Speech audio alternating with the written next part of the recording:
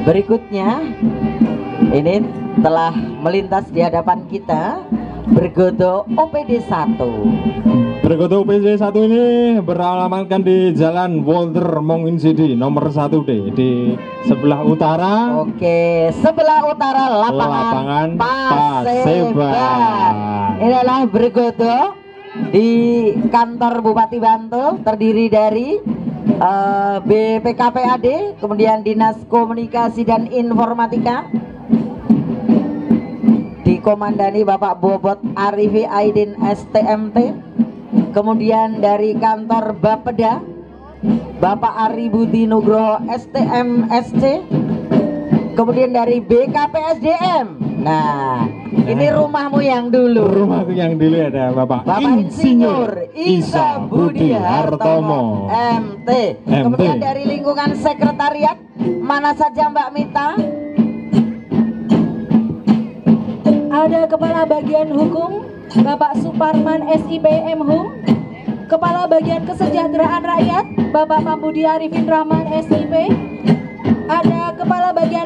Perekonomian, Pembangunan dan Sumber Daya Alam Bapak Dr. Andes Fauzan Muarifin Kepala Bagian Tata Pemerintahan Bapak Ray Robert Edison Bonai APMM Kepala Bagian Perencanaan dan Keuangan Ibu Dian Mutiara Sri Rahmawati SHMM Kepala Bagian Pengadaan Barang dan Jasa PLT Bapak Pambudi Arifin Rahman SIP Kepala Bagian Organisasi Bapak Agus Riana SH dan Kepala Bagian Umum dan Protokol Ibu Reni Maria Stuti SHM HUM Ibu kita ya ini Mas Taufik dan Bude luar Iya, biasa sekali luar biasa.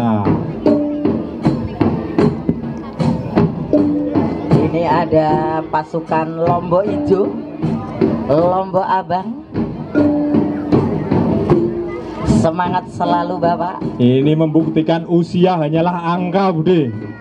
Usia adalah angka. Apakah kamu mampu berjalan dari sana ke sini Lah. dengan langkah yang pelan-pelan Mas Taufik? seperti ini kita patut mengapresiasi Bude walaupun uh, umur sudah tua tapi semangatnya luar biasa. Oke. Itu buat pecutan buat kita semua anak-anak muda terutama yang sudah memasuki 30 itu sudah mulai boyokan mesti di. Nah, tapi jangan salah Mas Topik. Gimana Bude? Meskipun angkanya sudah banyak, kalau rajin olahraga menjaga kesehatan, oh tidak kalah Betul. dengan yang muda. Buktinya jalan kaki dari Tirenggo nanti sampai Paseban itu masih begek ya deh.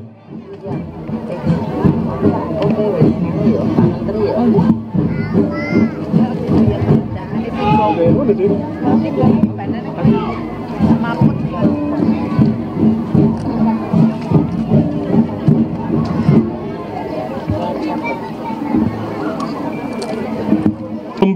Sanden serta lurah dari empat kelurahan yaitu ada Lurah Murti Gading, Lurah Gading Sari, Lurah Gading Harjo, dan Lurah Sri Gading.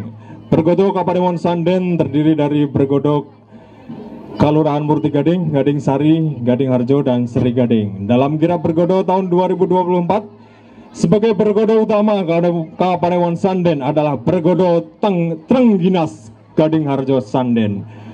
Bergodo Trengginas lahir di Gading Harjo tanggal 9 September 2023 yang terilhami dari prajurit yang menjaga keselamatan istri Sri Sultan Hamengkubuwono I yang bernama Bendoro Mas Ayu Asmorowati.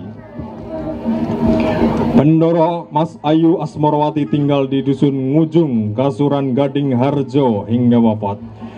Prajurit yang menjaga terdiri dari warga yang setiap hari berprofesi sebagai petani. Namun, walaupun sebagai petani, tetap semua merupakan prajurit yang ahli di bidang olah kanuragan.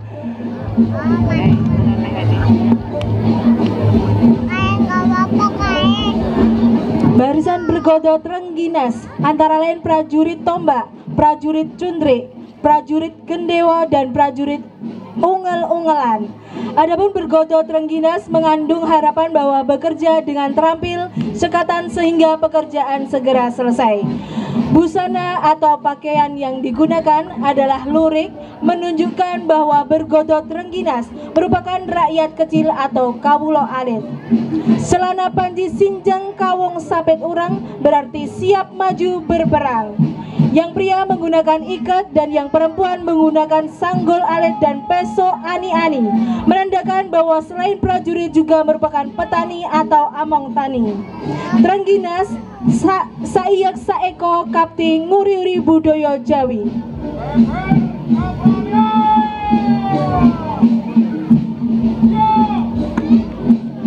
Bapak Ibu inilah bergodo dari Kapanewon Sanden.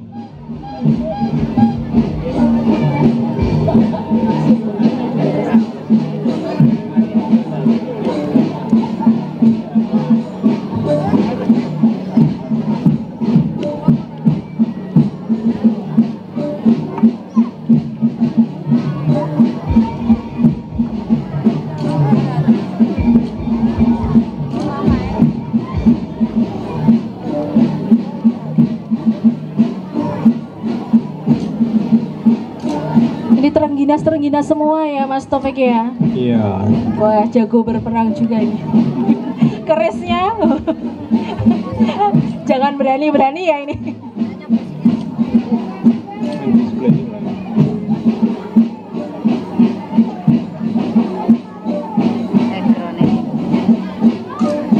Inilah display dari Kapanewon Sanden.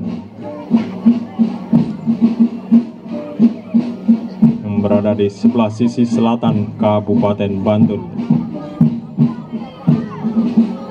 Di bawah pimpinan Mbak Panewu Deni Ngajis, SSTP, dan Bapak Panewanom Dr. Anders Istadi.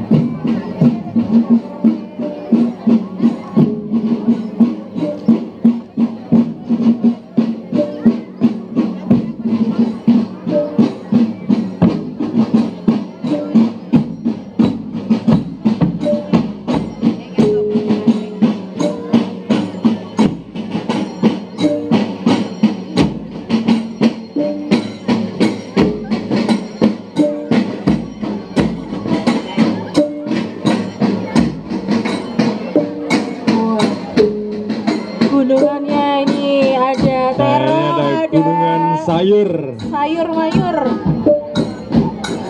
Ada pare, ada berambang mas. Kemarin kita habis panen berambang ya. Iya.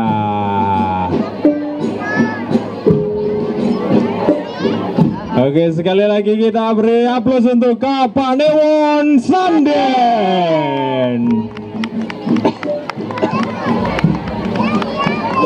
Selanjutnya setelah ini akan ada